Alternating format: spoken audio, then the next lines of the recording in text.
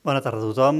Benvinguts a aquesta nova sessió d'aquest curs sobre els set pecats capitals, aquesta relectura contemporània dels set pecats capitals que estem fent aquí a l'Institut d'Humanitats de Barcelona, del CCCB. Eh, com sempre, és un, és un goig eh, presentar aquesta sessió d'avui. És també una llàstima que no puguem compartir un, un mateix espai físic i que ens haguem de comunicar a través de les pantalles, dels ordinadors, però són les circumstàncies que tenim i, i ens hem d'adaptar. Avui comptem amb Adrià Pujol Cruells, que ens parlarà de la gola. Adrià Pujol Cruells és antropòleg, és escriptor, traductor, compagina la docència a l'Escola Blum i a l'Aula d'Escriptura de Girona amb la museografia i la recerca. És un dels impulsors de l'Observatori de la Vida Quotidiana. Com a escriptor ha conreat el gènere de la novel·la, la biografia, el dietarisme i l'assaig. Gèneres enllà, la seva obra configura una exploració constant sobre la condició humana. És autor d'Escafarlata d'Empordà, Picadura de Barcelona, La carpeta eslava, Els barcelonins, El fill del corrector i Mr. Folk, entre altres obres, i col·labora en mitjans de comunicació com ara el Diari de Girona o El País. La seva traducció de l'Eclipsi de Jos Perec va rebre el Premi Serra d'Or de Traducció i el Premi Manuel Serro Serrat Crespo de Traducció Literària l'any 2018. Aquest any 2020 ha publicat La Gola, a Fragment Editorial, en aquesta col·lecció sobre els pecats capitals que hem transformat en curs aquí a l'Institut d'Humanitats i jo li vull agrair molt especialment que hagi acceptat l'aventura de participar en aquest llibre, en aquesta col·lecció i també en aquest curs a l'Institut d'Humanitats. Adrià, tens la paraula. Gràcies, Ignasi. I bé, eh, com deia l'Ignasi, eh, saludo el buit de la pantalla, però saludo a tothom, de totes maneres, hola a tothom, i gràcies per ser tots i totes en aquí. Tot, esperant, tot esperant que aquesta comunicació a través de la pantalla mm, deixi de, de ser la norma, m'agradaria explicar-vos d'entrada què entenem els antropòlegs per, per la noció de pecat? Perquè de vegades les paraules, i la paraula pecat n'és una, venen prenyades de molta història, de molts significats, i no sempre i no sempre són els significats que, que s'atribueixen des de les ciències socials o des de les humanitats a les mateixes paraules. La paraula pecat, tothom en té una idea, mm, i de fet, eh, avui dia, en general, la paraula pecat, quan es pronuncia, es pronuncia de manera poc eh, seriosa o, o poc, poc greu, poc profunda. No és que la gent no pequi, però pecar i pecat són, són una paraula i un verb que, no, que ja no es pronuncien amb la gravetat que s'havien pronunciat temps A. I això és perquè eh, la idea de pecat ha passat una mica per malla. No, no ha desaparegut de l'imaginari col·lectiu, no ha desaparegut dels vocabularis eh, i de les parles, però ha anat a parar no ben bé en un lloc que jo diria que és humorístic, però sí que ha anat a parar en un lloc on no té el valor que havia arribat a tenir. En canvi, eh, des del punt de vista de l'antropologia social i cultural, eh, la paraula pecat encara conserva tota la força que la va prenyar en un principi. La paraula pecat eh, té equivalents en totes les religions del món, en tots els sistemes de creences del món.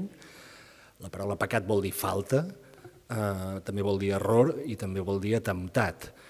Eh, insisteixo, és una paraula gruixuda i més pels que ens dediquem a, a l'antropologia de les religions o a mirar d'entendre els imaginaris, les creences i l'evolució d'aquests imaginaris i creences, la paraula pecat serveix per explicar eh, moltíssimes coses. I és en aquest sentit que l'he agafat eh, per parlar-ne en, el, en el meu llibre, eh, el meu llibre sobre la gola, que acompanya els altres sis llibres sobre els altres eh, sis pecats capitals. Anant al principi, mmm, no del llibre, perquè en el llibre no segueixo aquest ordre, sinó en el principi de l'exposició que us faig avui, la paraula pecat neix, el concepte, eh, el camp semàntic que pot arribar a abraçar la paraula pecat, neix en un moment en, el qual la idea de pecat eh, ja té uns 2.000 anys d'existència.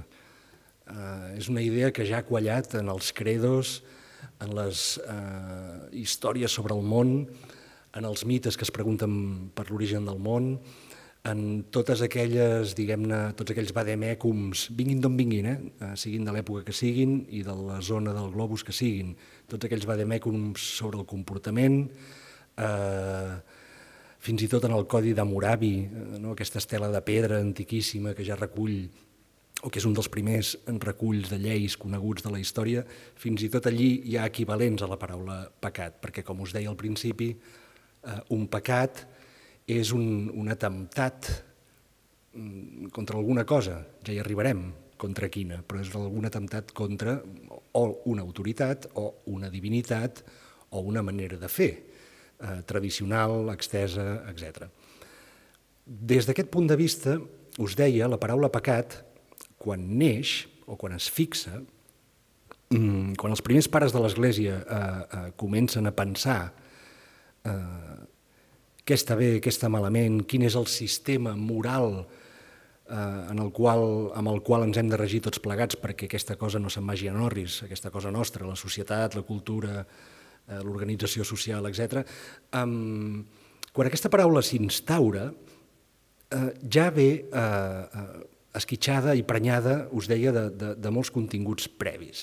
Aquests continguts previs, que en el llibre no poso al principi expressament, sinó que els poso més o menys cap a la meitat, en el capítol que es diu l'origen del pecat de la gola, eh, aquests continguts tenen a veure amb, amb, amb religions mistèriques, amb, amb creences eh, agnòstiques, amb astrologia, amb teories sobre l'origen del món, amb, amb totes aquelles, eh, diguem-ne, doctrines que s'han preocupat de pensar què som, qui som, eh, què fem aquí al món, d'on venim i cap on anem, que d'alguna manera són les preguntes essencials o connaturals a la condició humana.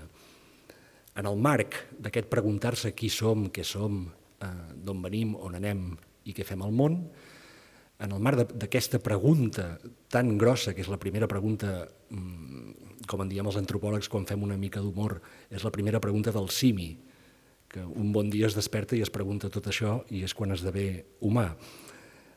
Enmig d'aquesta gran pregunta, al cor d'aquesta gran pregunta, ja hi ha la idea mm, de si som aquí perquè hem fet alguna cosa malament o si som aquí gràcies a alguna mena de gràcia o de regal que ens ha vingut eh, qui sap d'on.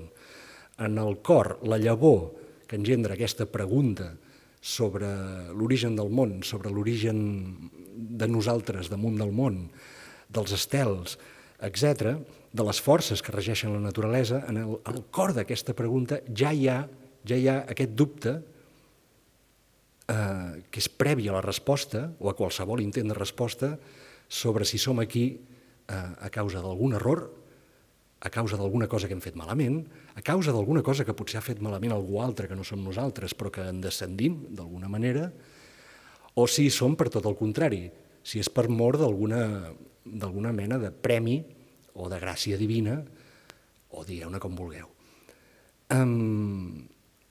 Partint d'aquí no és estrany que totes les explicacions sobre l'origen del cosmos, sobre l'origen de la humanitat, es decantin, i quan dic totes és totes, si més no les que es coneixen fins ara, totes les explicacions sobre l'origen de tot això, del món i de la humanitat, s'acaben decantant per un principi de resposta que es basa més aviat en l'error que no en la gràcia. La majoria de religions, per no dir totes, ara dic majoria perquè totes eh, no les conec, però eh, fa de bon pensar que és així, tenen en origen alguna mena de eh, referència a alguna falta o algun atemptat nostre contra alguna cosa, contra la divinitat, contra les divinitats, eh, algun destret, alguna cosa hem fet malament perquè aquesta vall de misèries en la qual vivim eh, sigui com és. Això és interessantíssim des del punt de vista antropològic perquè vol dir que antropològicament tendim més a pensar a partir de la culpa que no pas a partir de l'encert.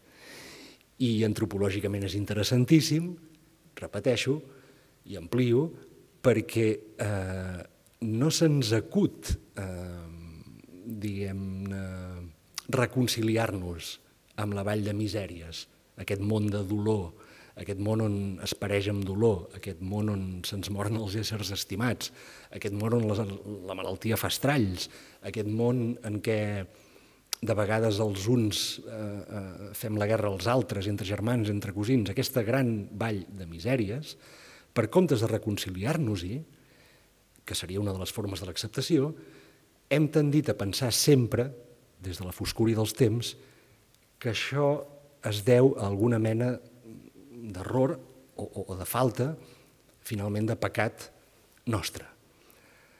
És curiós que, que, que no s'hagi vestit cap, eh, diguem-ne, còmput de creences o, o, com deia fa una estona, d'explicació sobre el cosmos, no se n'hagi vestit cap a partir de la reconciliació. S'han vestit tots a partir d'un destret, a partir d'una un, desviació, a partir d'un excés.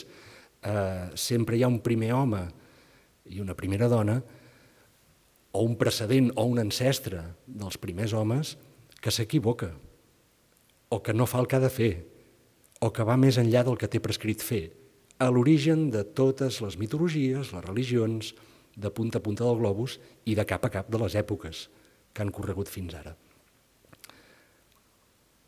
En aquest mm, marc tan gros, o tan generalista, o tan, tan d'universals que plantejo, la gola, el pecat de la gola,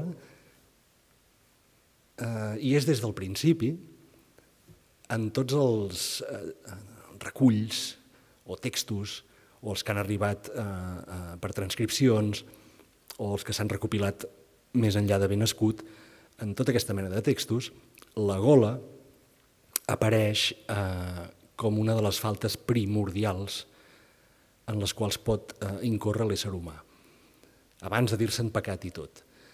I això té a veure, ara sí que vaig, vaig més a l'origen de, del pecat de la gola, això té a veure perquè podríem dir, podríem dir-ho així una mica frívolament, però des del principi que la gola ha estat vista eh, com l'origen o, o, o aquesta cosa d'obrir la porta a la resta de pecats. Per què? Perquè és que això només cal, només, eh, no només ho diu el sentit comú, sinó que qualsevol observació de la condició humana veurà que és a partir de la gola, i ara parlem de gola alimentària i, i gola de, de, de, de begudes graduades, la gola, eh, produeix un estat físic i mental, un cop s'ha comès l'acte de la gola, que obre la porta a tots els altres pecats. Eh, el primer dels quals probablement seria la luxúria, però no només això, com que eh, qui ha comès, o qui s'ha passat, qui ha comès gola, eh, tots sabem que té el senderi emboirat, eh, que no actua d'acord amb, amb, amb, els, amb el juí recte, etc i que per tant pot donar sortida, pot desbridar totes les altres, eh, tots els altres pecats, faltes, errors, de moment en podem dir com vulgueu, eh? l'avarícia, la supèrbia, el, no és estrany que algú, eh, després d'un gran tiberi, deixi anar, tregui les brides a la supèrbia, a l'enveja, a la ira, eh, a la resta d'errors, pecats, eh, a la peresa, a la mandra, etc. Des del principi es va considerar que la gola era, era el desencadenant de la resta de mancances que es podien presentar en l'espècie humana. Ultra això, ultra això eh, els pecats es van anar eh, codificant. Hi ha llistes de pecats molt anteriors a, a la fixació dels, dels set pecats capitals que fa Gregori Magna, eh, n'hi ha tantes com vulgueu, sempre són set, vuit, de vegades nou, Eh, faltes, llistes de faltes antiquíssimes del 5è, 6è abans de Crist, eh, en què ja es fixen o es van, es van mirant de fixar periòdicament quines són les mancances en les quals pot, pot incórrer la persona. Mm, de vegades eh, s'atribueixen eh, a factors externs, a la influència dels astres, segons eh, segons la disposició dels astres, doncs la persona tendeix més a caure en la melangia de la Lluna o en la ira de Saturn. De vegades s'atribueix a la composició del cos humà, la composició que deien els grecs que tenim, de terra, foc, aire i aigua. De vegades s'atribueix a les set esferes celestials i als dimonis que habiten a cada esfera, que davallen a la terra i entren a l'ànima i la corrompen, la corrompen, perdó, um, etc. Però s'atribueixi a efectes o a factors externs, s'atribueixi a, a factors interns, és a dir, l'home, la persona peca perquè és dolenta per ser, o s'atribueixi a una relació amb la divinitat, és a dir, eh, pecar és anar contra mm, els manaments divins, eh, i o pecar també pot ser prescrit per la divinitat perquè és una mena de càstig, vagi com vagi, tot això va passant cap a un coll d'ampolla, que en direm el coll d'ampolla del cristianisme, i s'acaba fixant en els set pecats capitals que no es pot dir que avui dia tothom conegui. I amb això d'aquest tothom conegui és quan podria entrar a la, a la segona part del llibre. Ja us he dit que en el, en el llibre aquest no és l'ordre que vaig posar perquè primer m'interessava mmm, pensar el lloc que la gola ocupa avui, el pecat de la gola ocupa avui entre nosaltres, i després explicar-ne l'origen, però m'ha semblat que en una, en una conferència, en una xerrada, era molt més lògic eh, fer una arqueologia canònica i començar pel principi, i és el que he fet. Però un cop aquests pecats queden, queden fixats, i un cop es van polint, canviant de lloc, ara primer és la supèrbia, després és la luxúria, llavors serà la gola, és igual, segons qui se n'encarregui la llista de pecats, eh, la, el grau de gravetat de cada pecat eh, va canviant, però, en fi, la llista dels set pecats capitals travessa tota l'edat mitjana i es planta, eh, diguem-ne, a la modernitat amb una salut de ferro. Els pecats han servit, eh, durant tota l'edat mitjana, mm, com una mena de... de, de, de ara se'n diu manual d'instruccions, és a dir, és una manera com qualsevol altra, us he dit al principi, s'ha fet sempre, des de sempre, és una manera com qualsevol altra de reflexionar, de recomanar, de punir, eh, d'encarrilar eh, les accions i els desitjos de les persones. I és una manera, a més a més, molt eficaç perquè els pecats o la llista de pecats i eh, la llista de virtuts que s'hi poden contraposar també surten del sentit comú. De vegades s'ha dit, i jo crec que n'ha abusat, eh, que els pecats han servit per dominar la societat en mans de l'Església. Dius, bueno, a veure, sí, però és que eh, el sentit comú de les classes populars també enarbora els pecats quan una cosa no li sembla bé perquè és que és de sentit comú que un accés, de la banda que sigui, un accés, qualsevol accés, desequilibra. Desequilibra el grup familiar, desequilibra eh, la comunitat, diguem-ne, a nivell de, de, del poble o del llogarret, eh, desequilibra la nació, eh, desequilibra tot. L'accés d'un, sigui de la banda que sigui, ja hi entrarem, sigui la gola, sigui la luxúria, és igual, eh, és, és, és la guspira que encén la metxa del desequilibri general. I això no, no, no cal que ens ho diguessin els capellans durant l'edat mitjana, o els sacerdots, o els xamans a l'altra punta del món, els xamans també parlen de, de pecats, sinó que entre totes i tots mm, hem donat per bo que els set pecats, eh, els set errors capitals, eh, són una guia de comportament eh, que a més a més, a més a més té la gran avantatge que permet, permet descarrilar una mica de tant en tant. Tot això crec que posa més a lloc, no perquè ho digui jo, però que, que posa més a lloc eh, la cantarella aquella segons la qual l'Església eh, va ser una mena d'empresa de, de, de, de punició general que asfixiava les persones durant l'edat mitjana. Em sembla que, que és una visió que ja està superada però que mai, mai, no sobra tornar-ho a recordar. No? I més que res perquè és el punt de vista del meu llibre. Eh, és un llibre que no, que no, que no està escrit contra l'Església, eh, que sol ser la, la temptació principal quan es fan aquesta mena de llibres, que revisen, que revisen una cosa tan important com els pecats. Llavors, com us deia, eh, arribem a, a la modernitat, els pecats gaudeixen de molt bona salut, però, però comença a haver-hi les primeres impugnacions. I no és tant una impugnació eh, al sistema de, moral dels pecats capitals, sinó a un, és una impugnació a qui en detempta el poder d'aquest sistema.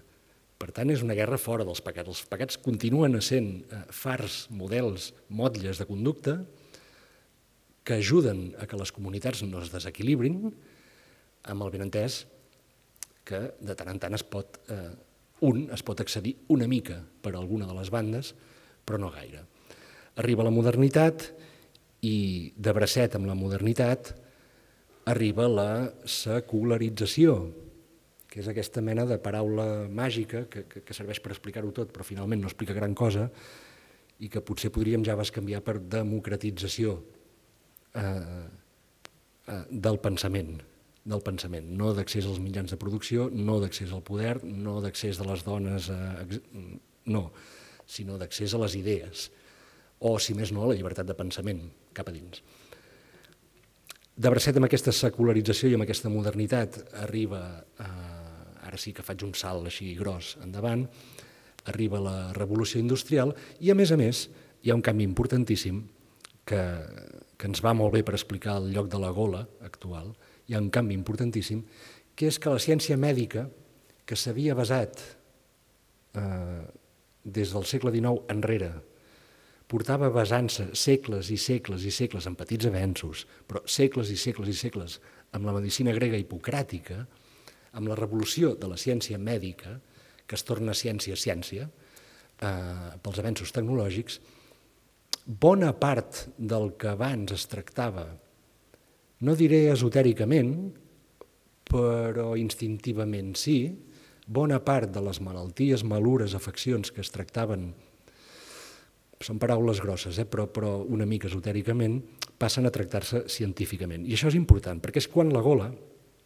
i els altres pecats capitals també, però la gola passa a ser, mm, es converteix, passa a ser mm, un pecat social, passa a ser un pecat que ja no té gran cosa a veure amb, amb un destret a Déu, ja no té gran cosa a veure amb una mena d'accés o de desviació de tipus moral i passa a ser, quan ho és, una desviació de tipus social.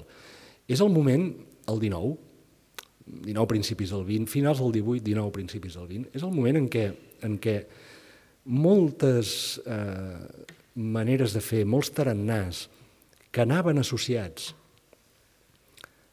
tornem-hi, eh? anaven associats als astres, al gènere, a, a l'instint, que anaven associats a, a, a nocions molt vagues, passen a ser tractats per la medicina.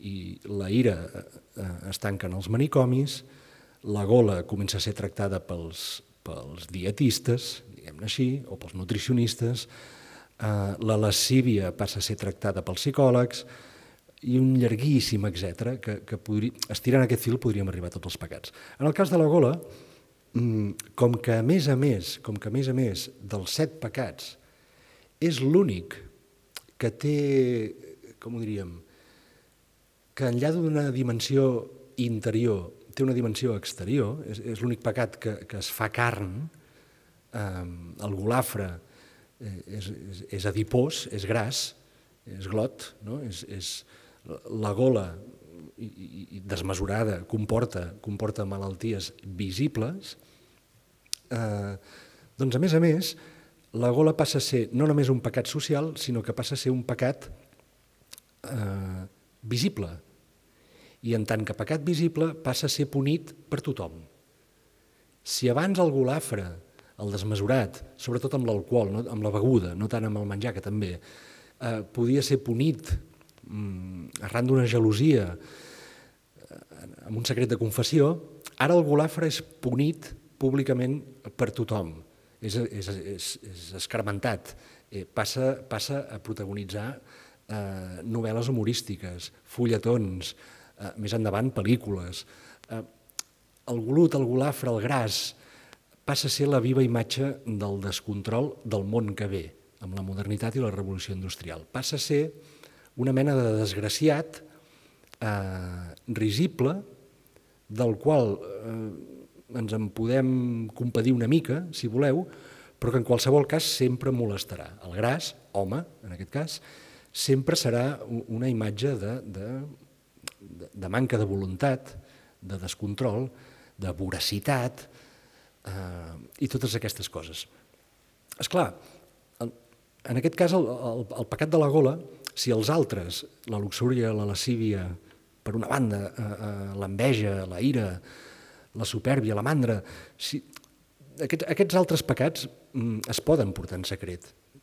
L'enveja, la supèrbia. La supèrbia potser té, una, té, un, algun, algun aspecte públic, es pot, es pot veure, es pot veure, pot sortir la supèrbia, però, però és que la, la golafreria, eh, que indica algú que peca de gola, no es pot amagar, no es pot amagar de cap manera.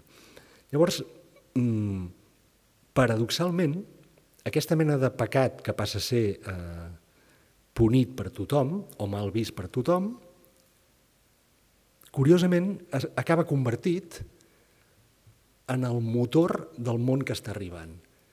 Acaba convertit la, la voracitat, les ganes de més i més, eh, associada simbòlicament o arquetípicament al menjar, a la taula que, que, que, que vessa, eh, no tenir-ne mai prou, acaba convertint-se, eh, enllà d'un aspecte punible i lleig que ens fa quedar malament, acaba convertint-se en el motor que tot just està arribant amb el segle XIX, que és el motor del capitalisme global.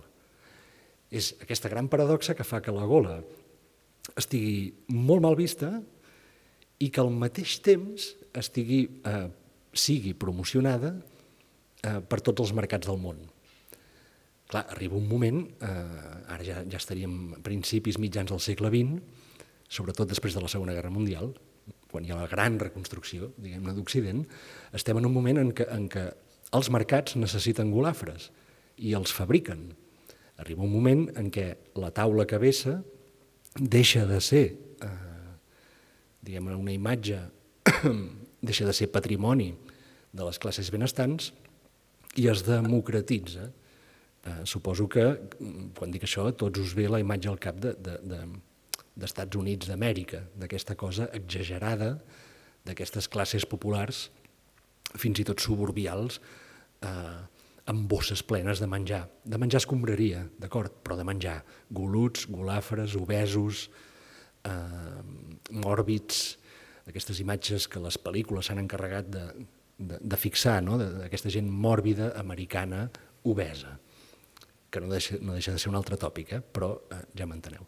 Situats en aquest punt, eh, tenim que la gola, avui, és una, continua sent un pecat, continua sent un error, eh, que a més a més, que a més a més és doble, perquè el, el golafre es fa mal a si mateix, però com a pecador, us he explicat abans, fa mal a tothom, el golafre és una de les llavors possibles del desequilibri, la obesitat és eh, la OMS, l'Organització Mundial de la Salut, tracta l'obesitat amb categoria de pandèmia, mai més ben dit, per tant, per una banda és això, però per l'altra, mmm, el món en el qual vivim necessita de golafres i necessita que aquests golafres estiguin actius i que omplin els centres comercials el diumenge a la tarda i, i que mengin patates fregides i hamburgueses i coses amb salsa. Eh, es necessita, perquè el món eh, s'aguanta sobre això. És clar, ha deixat de ser un pecat la gola des d'aquest punt de vista. I aquí ja seríem a la meitat del llibre. Ha deixat de ser un pecat perquè mm, és desitjada per tothom i punida per tothom. Vet aquí l'èxit, no sabria dir ben bé d'aquí, però és desitjada per tothom.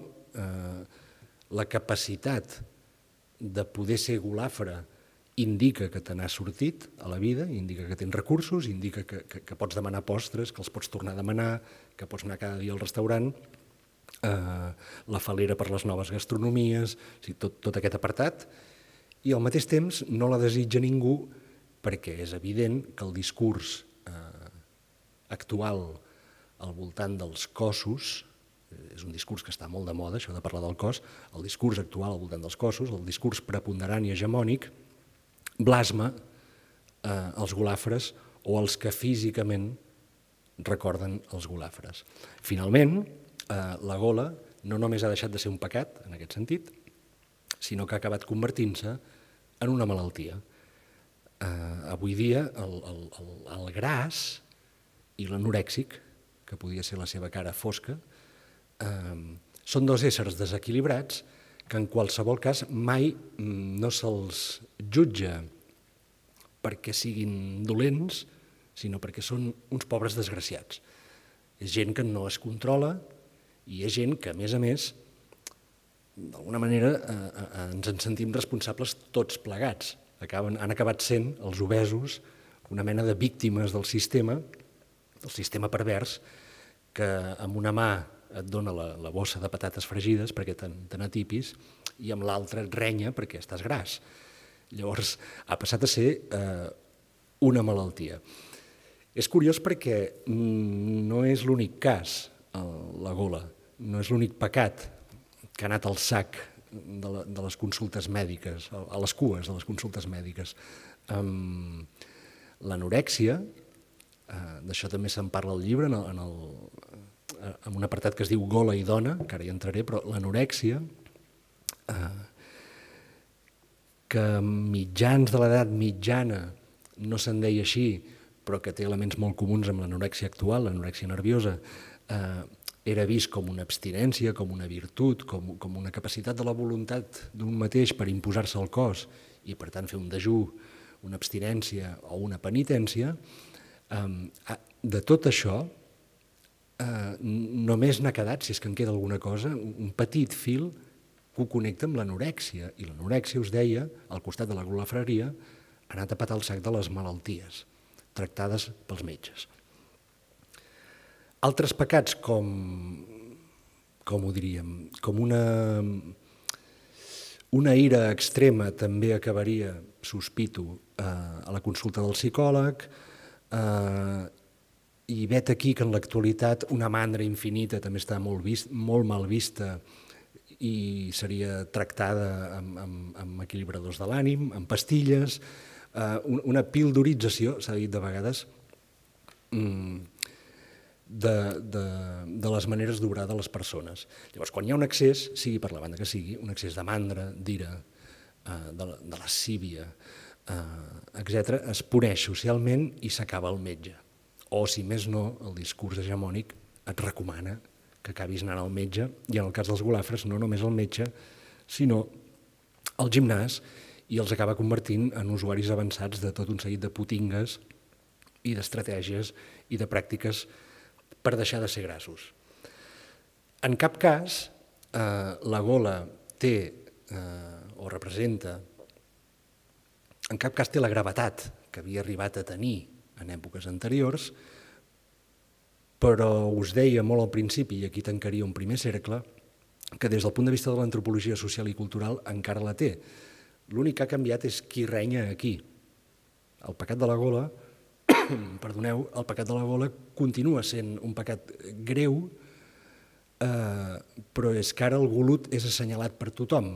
O dit d'una altra manera, no ha perdut gravetat, l'únic que ha guanyat és amb, amb, amb renyadors, amb, amb gent que renya els grassos o que els mira malament o que els rebutja o que considera que són gent desordenada, desequilibrada i potencialment perillosa perquè, com us deia, eh, encenen la guspira, la metxa del desequilibri més general. Un discurs, eh, Tanco deia, un discurs que fins i tot l'Organització Mundial de la Salut no s'estalvia, parlen de, de globasitat, no? d'aquesta obesitat global.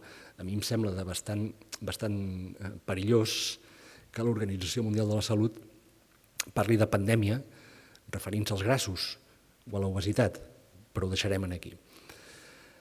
Um, dit això, uh, el següent cercle que s'obre en el llibre, després d'haver situat uh, l'origen de la gola, del pecat, l'evolució històrica, i el lloc que ocupa avui, en tant que malaltia i, i màcula eh, col·lectiva.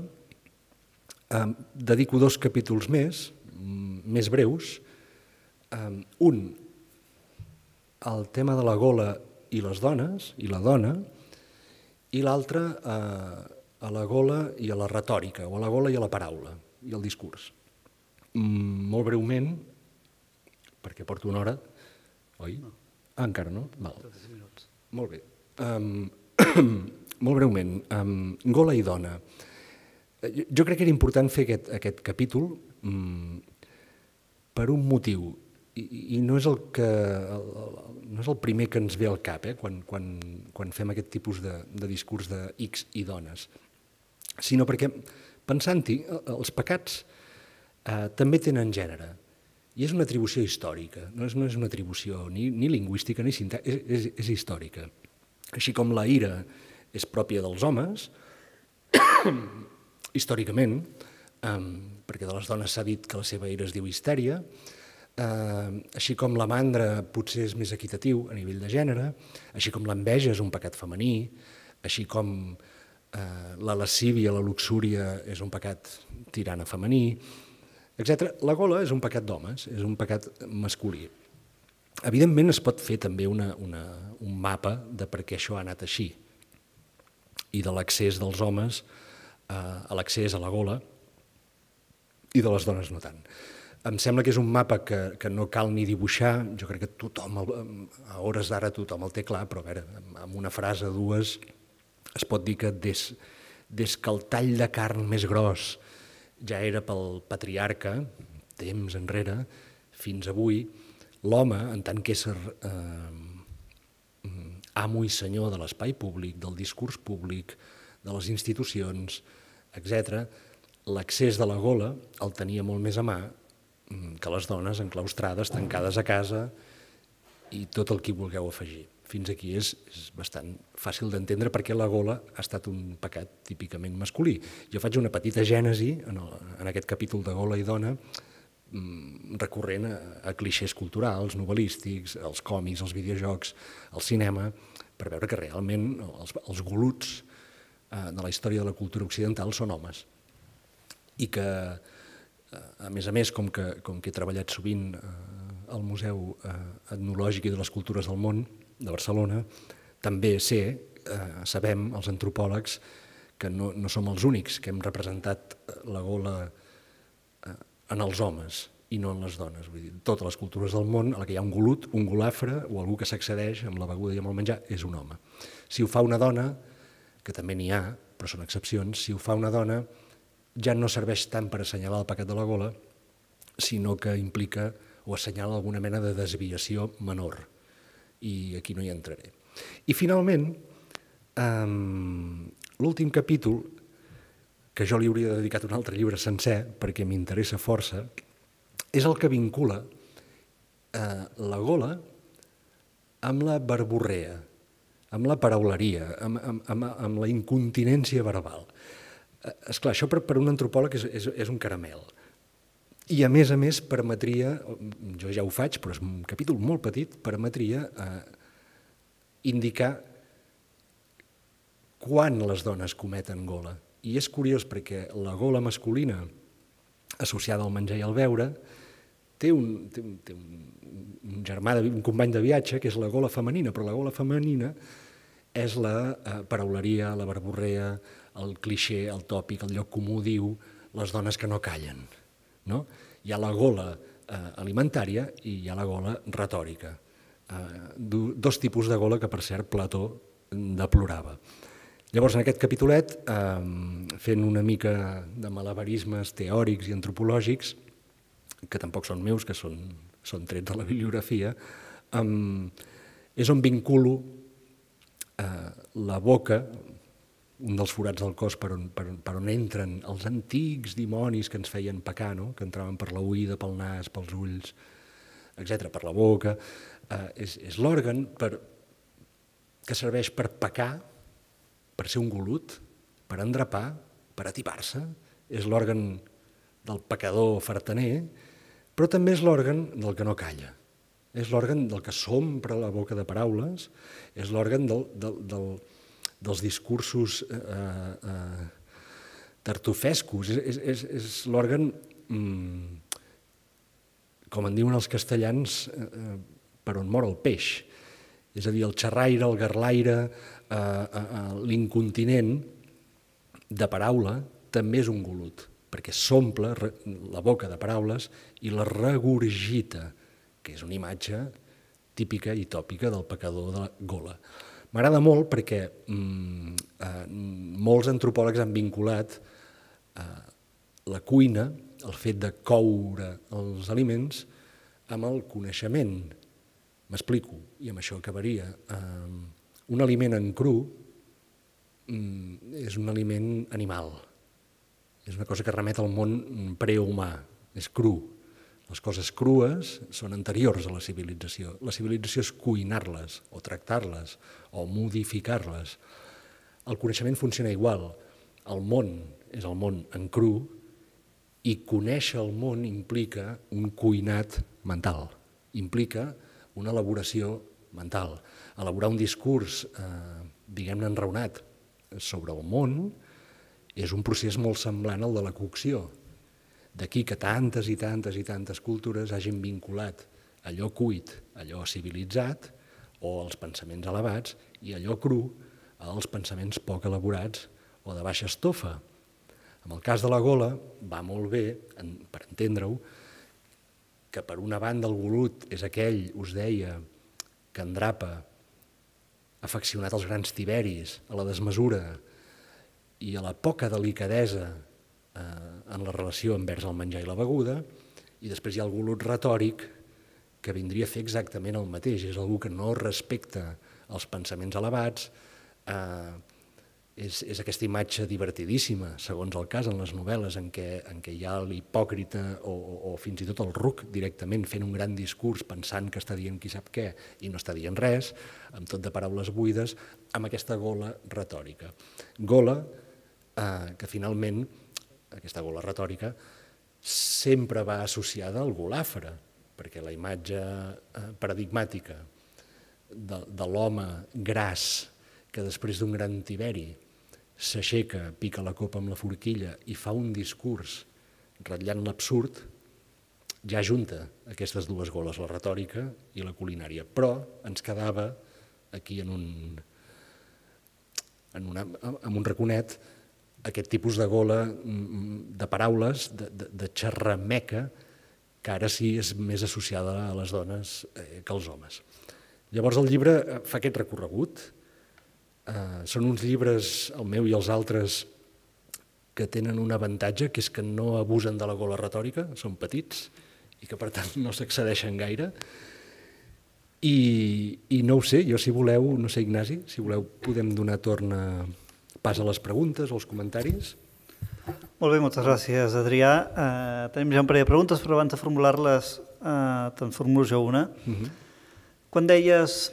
Mm, no vull articular el meu discurs en una crítica a l'Església que ha dominat les consciències, que han manipulat a la gent a través del, eh, dels capellans, que han influït sobre les dones, a les famílies, etc. No? Potser aquesta és la diferència entre eh, el fet que aquestes set sessions les feu el que, els que jo vaig anomenar en mala hora eh, joves veus de l'assaig català i que va, va, va, va suscitar crítiques perquè em deien que amb 45 anys jo no sé jove, cosa que eh, no ho sé, eh, seria com a mínim discutible, però, eh, però en qualsevol cas eh, els set, les set persones que heu passat per aquí i que heu escrit sobre els set pecats vitals, eh, tots sou menors de 45 anys, i penso si, si els autors haguessin sigut persones d'una generació anterior, uh -huh. doncs segurament la confrontació amb una, amb una religió entesa com allò de què ens vam haver d'alliberar uh -huh. eh, hauria sigut molt present, no? i per tant la idea de, de fora moralismes, fora, fora aquesta església que ens, que ens diu que tot és pecat, no? el, el, el, el, el, el pecat com una forma d'amenaça. No? I en canvi, eh, en general, cap dels, cap dels set sembla traumatitzat per, un, per una educació clerical on, on, on la idea de pecat hagi servit per, per eh, amenaçar o per coartar les llibertats, etc. No? Mm, no sé, allò de Nietzsche, no? de, de, de, uh, el, de com el camell, eh, que sota el pes del, d'una religió opressora es transforma en lleó, no? que, que, que és la, la, la subversió, eh, i després ve el nen, que és la capacitat d'afirmar. No? Potser, eh, potser no, cap de vosaltres ha fet el discurs clerical d'oprimir, cap de vosaltres tampoc ha necessitat subvertir aquest discurs, i en canvi eh, tots heu pogut afirmar amb, amb naturalitat. Potser som en la, en la tercera transformació de l'esperit, Home, sí, bueno, diverses coses. Eh? Uh, um, el, els amics de la meva generació, que, és, que no és el meu cas, que van anar a escoles de tall religiós, eh, tots som allà mateix, és a dir, ni, ningú ha sortit diferent de l'altre en funció de l'escola on va anar. I parlo de gent que s'hi que va estar des del principi fins, a, fins, a, fins al COU, aleshores era el COU, no? Dir, acabar el batxillerat. en qualsevol cas sí que, sí que puc dir que aquesta gent que va tenir més a prop el discurs del, de, del pecat eh, són els que més s'han afanyat després a, a practicar-lo. I això que, que pot arrencar somriures no, no, no, és, no és gens estrany. Eh, passa a totes les famílies. Quan més et diuen que no pugis a l'arbre, doncs més ganes tens de pujar-hi. Després ja veurem si ho fas o no ho fas. No?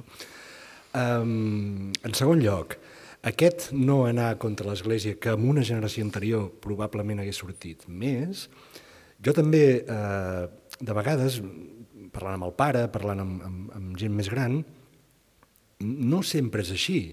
És a dir, i a més en el cas català, no? en el cas català bona part de l'alliberament fou cristià. Mm -hmm. Arribats en aquest punt, fer-se el progressista tampoc té gaire sentit. Mm. Una altra cosa és que, és, és que a casa diguem-ho així, hi hagués alguna figura tirànica que en nom de la religió et fes la vida impossible, però això no t'ho fa la religió, això t'ho fa el pare, o la mare, o, o, o qui sigui, no? o, o el mestre de l'escola. Per tant, a més a més, en un país on, on bona part de, de l'obertura, diguem-ne, espiritual, de llibertats, de, de, de conquestes de l'ànima, fou cristiana, ja ho, tenim, ja ho tindríem arreglat. No? El que passa és que a vegades això ho dius a segons qui, i sobretot gent que, que potser no és d'aquí, i et diuen que tu inventes, dius, no, escolti, jo ho he vist, això, ho he viscut a casa, vull dir, per tant, no, per aquí res.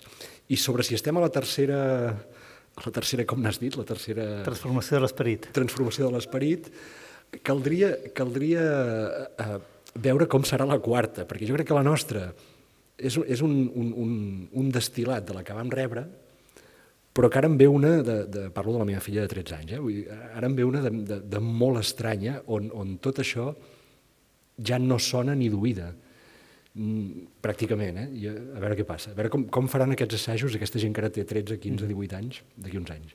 Mm -hmm. Rosa Morató fa dues preguntes. En primer lloc, diu, per què diu que la luxúria és femenina? Mm -hmm.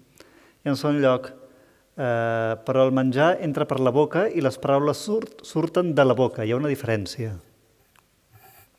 Molt bé, la primera és que quan dic que la luxúria és femenina, Eh, no ho dic jo, ho diu, ho diu la cultura. És a dir, eh, quan he fet l'exposició sobre el gènere dels pecats, m'he referit, eh, potser m'ha mancat dir-ho, però m'he referit eh, al gènere que atribuït tradicionalment a cada pecat. Eh, així com l'heroi, l'home, el mascle, és cridat culturalment, culturalment eh, a controlar la ira, a fer la guerra, a controlar la supèrbia quan fa un gran discurs, a controlar l'avarícia quan, quan saqueja, la luxúria, tot i que pot pecar l'heroi, l'home, el mascle de luxúria, no està tan mal vist i per tant no és tan un pecat com quan, quan això ho fa una dona. I per això dic que la luxúria era pròpia o, o era femenina culturalment.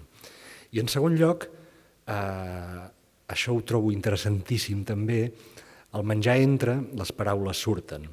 Uh, hi, ha, hi ha una cosa dialèctica en, entre la gola alimentària i la gola retòrica que per això els antropòlegs socials i culturals les comparem i les posem una en un plat de la balança i l'altra a l'altre plat, perquè els aliments eh, entren per la boca i tots sabem per on surten, i les paraules eh, neixen al cervell i surten per la boca hi ha antropòlegs, hi ha cultures, sobretot africanes i maies, inques, en què un mal discurs és comparat a la femta.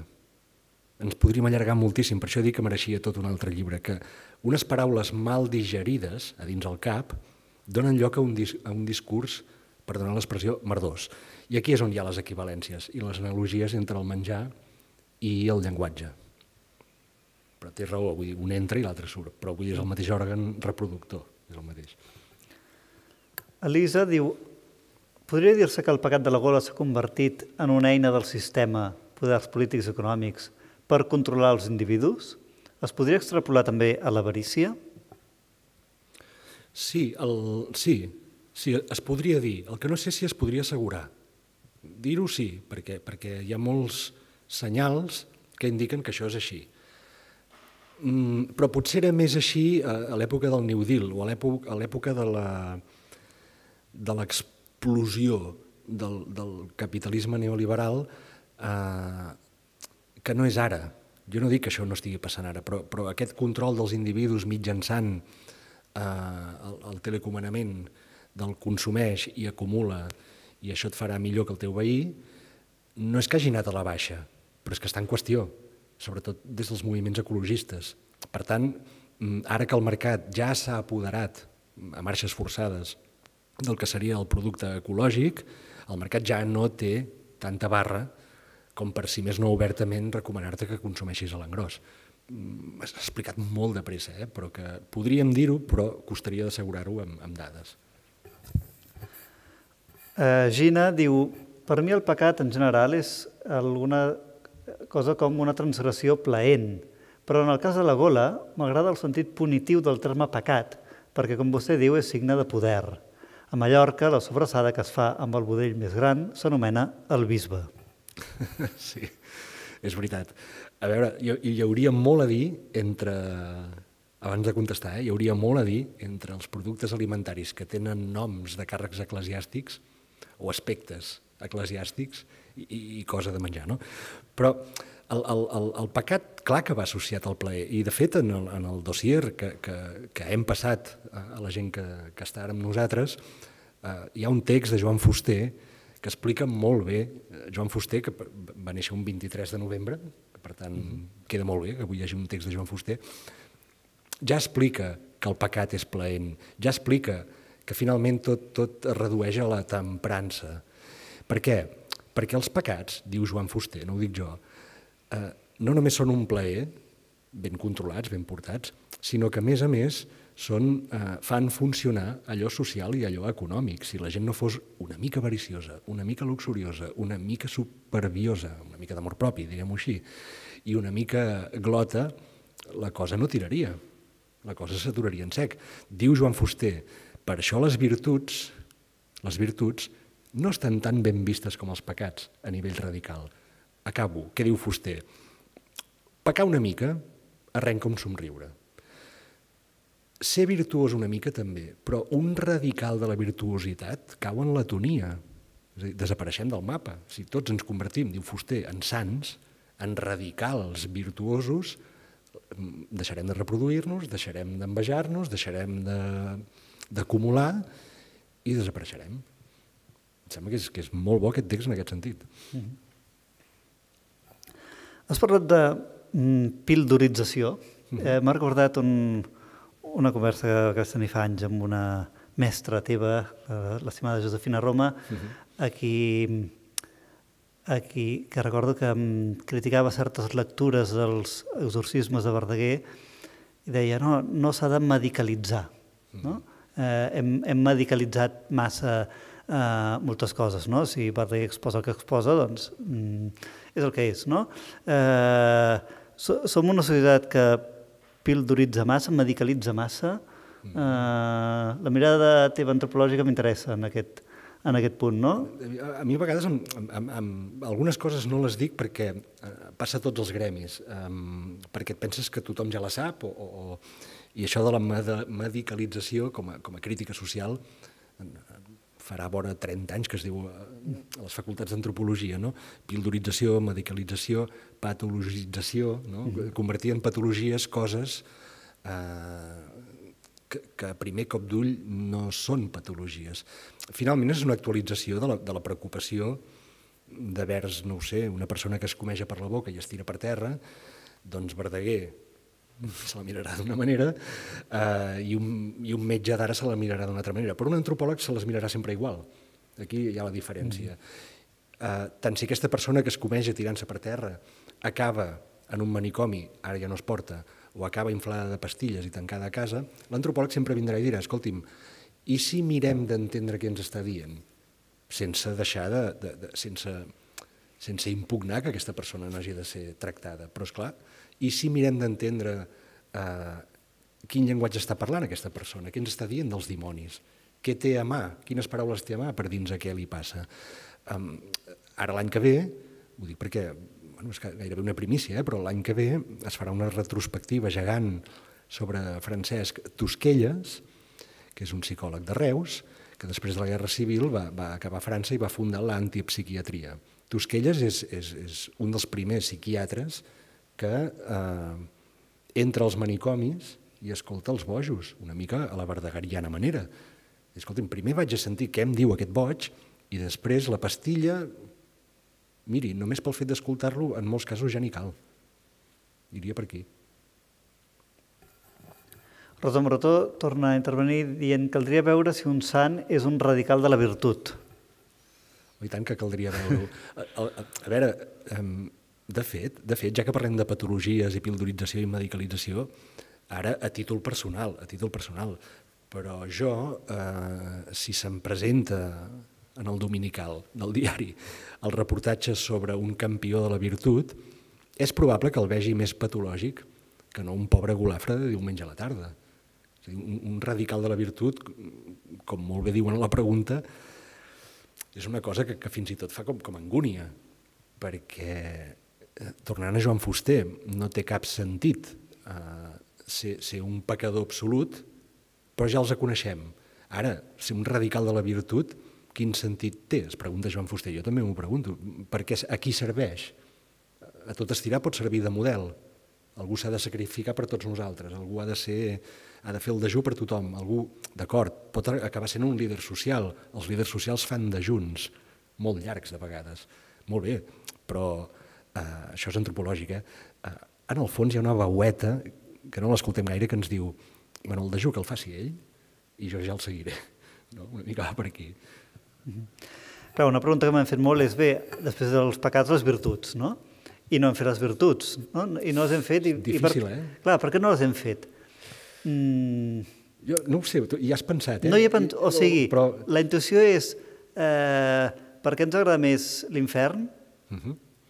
Que el, el Dante, eh, que el purgatori o, o, o el, o, el paradís, no? Uh -huh. És a dir, hi ha una, hi ha una atracció, hi ha una pulsió eh, per, pel costat ombrívol, mm, per, per, per l'ombra, no? Que, mm, no? que també, que també diu, diu molt de la condició humana, no? Eh, entre, entre, entre l'accés a pagat i l'accés de virtut, no? Eh, deies, no? L'accés de virtut, l'accés de virtut és, és bastant empipadora, no? Sí, eh, molt difícil de portar, l'accés de virtut. Eh, perquè, però a veure, un moment, el, el, el, també, eh? jo, jo crec que més o menys qualsevol antropòleg, no, no a tu, sinó que ho diria en general, diria, un moment, un moment, i, i per què l'infern és al costat ombrívol? I si no és al revés? I no serà que, també ho diu Francesc Ximenis, que també està en el dossier que hem passat, no serà mm, que els plaers de la taula, que els plaers del llit, que una certa enveja, són estímuls cap a la claror col·lectiva, cap al funcionament harmònic de la col·lectivitat amb mesura, però estímuls finalment. És a dir, si, si, si jo una mica d'enveja, allò que se'n se diu enveja sana, eh, una mica de desig, una mica de, de, de plaer sensorial, etc etc etc, no serà la part més clara de nosaltres. I això de dir-ne ombrívola mm, ve, ve de molt lluny. No serà finalment la condició humana aquesta i, i la part fosca o la part, diguem-ne, ignota és el paradís, és la virtut, i això no vol dir que l'hagin de perdre de vista, però eh, curiosament, eh, jo pensant-hi, vaig dir, va, faràs un esquema interessant, o, o d'aquests que entren a primer cop d'ull, de pecat i virtut, pecat i virtut. No he trobat les equivalències, no hi són. Hi ha coses que s'hi aproximen, però diuen que la supèrbia, alguns diuen que eh, s'asserena amb la fortalesa. No ho veig. D'altres diuen que s'asserena amb l'humilitat, potser sí.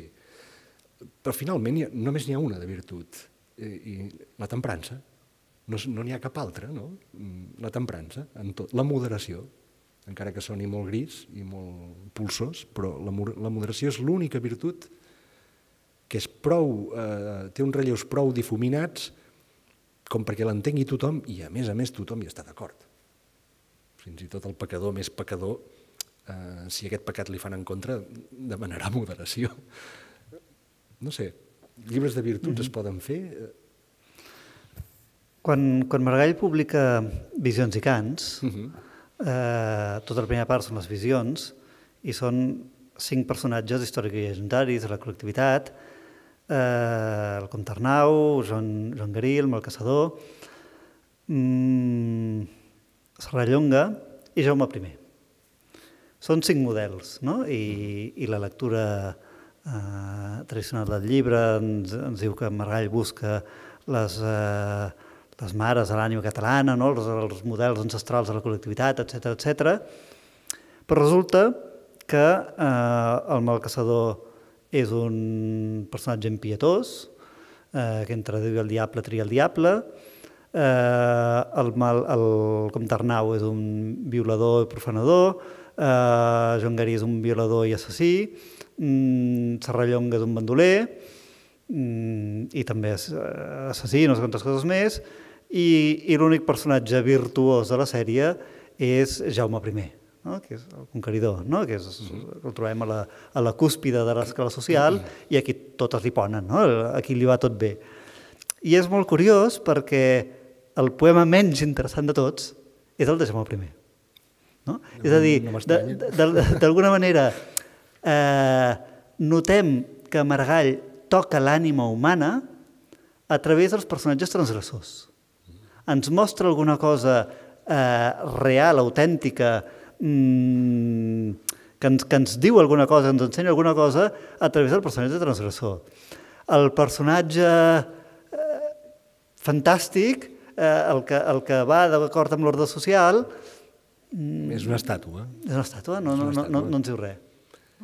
Sí, té tota la lògica del món i és aquella paradoxa que, que em sembla que abans l'hem fregat amb els dits. És aquella paradoxa que, eh, que a més a més és, torna a ser un universal. El, el pecador paradigmàtic, ara sí el gros, eh? el caçador, en Serrallonga, en Joan Garí, eh, ho és per tots nosaltres. De la mateixa manera que el virtuós ho és per tots nosaltres, mm, no sé, Gandhi se sacrifica per tothom. Uh, un monjo que es, que es crema davant, ho fa per tothom. El virtuós, el dejú del, del virtuós, la penitència del virtuós, el pujar una muntanya de genolls, tal, si és un bon líder, ja li convertirem en líder, que ell pugi la muntanya de genolls, amb els genolls pelats, i que ho faci per tots nosaltres. Doncs el pecador també. Tornen a ser models, i els models tenebrosos o foscos o, o, o, o que fallen són els bons, perquè ens parlen d'allò que ens pot desequilibrar. Els models de virtut no ens fan ni fred ni calor perquè no ens parlen d'allò que ens pot mm, equilibrar. Si tots tendim al desequilibri, com sembla ser, aquests són els models útils i són els models, no m'estranya que Maragall i qui sigui arribi més a tocar os eh, eh, parlant d'aquests models, no m'estranya. L'altre són estàtues, i les estàtues són ídols. Clar, abans quan parlava d'ombra, que no, no t'ha agradat l'expressió, eh, tenia al cap la lectura que fa Eugenio Trías d'aquestes figures de Maragall, i concretament del Comte Arnau, mm -hmm. perquè Trías és un moment en què diu eh, el Comte Arnau és la contrafigura de Maragall, Allà on Maragall és un espòs exemplar, pare de família nombrosa, algú que es compromet amb, amb la família, amb els fills, amb la cura de, dels menors, etc.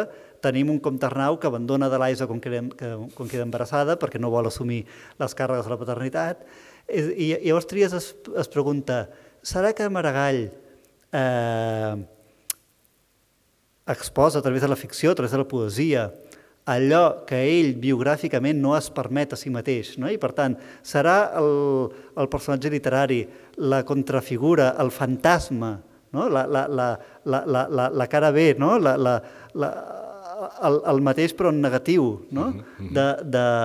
d'allò, és a dir, mm, fins i tot la persona respectable col·lectiva, eh, de, als ulls de la col·lectivitat, hi ha alguna cosa que no es permet explorar en la seva biografia diurna, no? agafant allò de, de biografia diurna i biografia nocturna que diu el nostre estimat Lluís, Duc. Eh, serà que els grans escriptors aboquen en, la, en els personatges literaris el, allò que exploren la seva biografia nocturna? Sí, el, el, el que diu en Trias no ho sabia. Eh? Um, és, també és molt propi d'una època en, en, en què la psicologia ho va, ho va tocar tot. No? I, de fet, la psicologia es va convertir de seguida en patrimoni de la humanitat del discurs de sobretaula, perquè realment, si l'argument és psicologista, ho explica tot de seguida. No? És una contrafigura, és un contrapès, és la cara B... Eh, és probable, és probable. Eh, en qualsevol cas, eh, ens passa el mateix amb Llull. No? Eh, hi ha revisions de Llull que ara posen en qüestió, diguem-ho així, molt pel broc gros, eh? Eh, certes doctrines lulianes perquè és un senyor que va, va abandonar la companya i el fill i se'n va anar, un altre. I llavors ja no és un heroi, ja no és un gran pensador perquè va fer això. Dius, escolti'm, però no... no... El meu marit se m'ha fet contemplatiu, diu Blanca Picany. Exacte, però dius, home, vull dir, és un mateix que en el bar, no? Podem fer moltes bromes sobre això, el que no podem fer són, són coses an anacronies i diacronies estranyes, no, no es pot. Tenim més preguntes. Uh, Gina diu, compartint la seva anàlisi del pecat, per què creu que el catolicisme ha pogut gaudir de tants segles d'hegemonia social? És que, és clar, jo no sé si ha gaudit de tants segles d'hegemonia social. Jo, um, I ara, ara que no se'm malinterpreti, és clar que el catolicisme hi és amb, amb arrels diferents a cada país i a cada racó de cada país. Eh? El nacionalcatolicisme, no tot és el mateix. És clar que, que ha disposat de prebendes que encara arrosseguem. Eh, no fa gaire, no? Les notícies, aquells béns de l'Església que es va, que es va, va córrer a inscriure tot, tot un seguit d'edificis, etc. Eh, arrosseguem moltes coses del catolicisme. Però per què ha gaudit de, de monopoli de les ànimes? Doncs eh, perquè anava bé a qui tenia el monopoli de les armes i dels impostos. Ara no ens enganyarem, és com si el catolicisme de cop i volta eh, ho manés tot des de dalt. No? És entre tots que es produeix l'espoli de les ànimes i dels béns de les classes populars. Que el catolicisme dona cobertura en segons o en molts d'aquests casos, evidentment, evidentment, però aquí era el catolicisme, a Orient era una altra cosa idèntica i a l'altra banda de, de, del Pacífic era una altra cosa igual, també. Rosa Marrotó diu, d'acord amb Freud, la foscor vindria de la repressió del desig, sí. no del desig mateix. Sí, de la repressió del desig, el, el, la cosa freudiana. Jo, jo sóc més junguià i, i tendeixo a dir que no ve tant de la repressió del desig, que també, perquè és una imatge difícil de combatre aquesta, dir que Freud s'equivoca aquí, no, jo no estic en condicions, però més tirant cap a Jung de la no verbalització del desig, que és una mena de repressió una mica més suau. Aquest no tenir llenguatge, o canals eh, per verbalitzar, per posar en paraules, per emparaular aquest desig. No tant la repressió, no? sinó no poder-lo dir. Mm -hmm. Maria Lluïsa Climent diu, ja ho deien els del segle d'Oro, buscaven el justo medio. Però sembla que en tota la història de la humanitat no ho hem aconseguit. Sempre ens n'anem als extrems. Eh, alguns, jo crec que la majoria no. És curiós, això. Um, el que passa que els adalils dels extrems són els que més sobresurten i tornem a Maragall. El, més violador o el més saquejador o el més virtuós. Però, però els extrems, extrems, i, i, i anem pocs. Jo crec que la majoria de la humanitat eh, es balanceja en un mig prou ample. Són però... bastant moderats, no? Sí, perquè, sí, perquè a més a més no, no, eh, som astuts som astuts i aquí no hi ha classe social que valgui. És a dir, mentre no ho sàpiguen els altres, aquesta envegeta, aquesta avarícia, aquesta ira, aquest... tot això es va... no és d'en pèl catòlic ni cristià. És a tot arreu sempre. Perquè la gent el que vol és, és viure el màxim d'anys possibles, per dir-ho molt planerament. I, per tant, l'accés és propi d'uns quants pocs. El que que fan molt de soroll els, els que s'accedeixen fins, al, fins al final. No? Bé, eh, ho haurem de deixar aquí. Eh, jo t'agraeixo immensament, eh, Adrià, el, la teva exploració sobre la gola i com, i, i de fet totes aquestes sessions estan sent un, un model d'això, com a través de, d'un dels pecats, que en el fons és un pretext, acabem parlant de l'ànima humana, acabem sempre. parlant de, Sí, sí. de la condició humana, eh, i de fet ja era el que buscàvem amb, amb, amb aquesta col·lecció, amb aquest curs, no? que no fos simplement una, una visió eh, so- sobre els pecats en, entesa en sentit restrictiu i monogràfic, sinó que, que aquest tema ens portés a, a, una, a una elaboració amb, amb ambició intel·lectual. Ens queda una última sessió, que serà dilluns vinent. Tindrem Jordi Graupera, que ens parlarà de la supèrbia, de manera que ens emplacem, doncs, ens citem per d'aquí una setmana per escoltar Jordi Graupera. Eh, Adrià, reitero l'agraïment, i a tots vostès per ser-hi. Moltes gràcies. Moltes gràcies.